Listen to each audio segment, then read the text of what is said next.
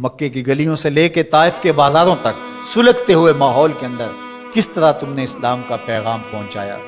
अजियतें सही, मुसीबतें सही, मुकावमतें, मुखालफतें नुकता चीनी की आंधियाँ, नामवाफक हालात के जक्कड़, दुख, परेशानियाँ, बरसते पत्थर, झेले, तकलीफें गवारा की, गड़े खोदे गए, कांटे बिछाए गए ओजरियाँ डाली गई, अजियतें खड़ी की गई। लेकिन इस्तिकामत का कोहे गरा बन के मोहम्मद अरबी खड़ा नज़र आता। है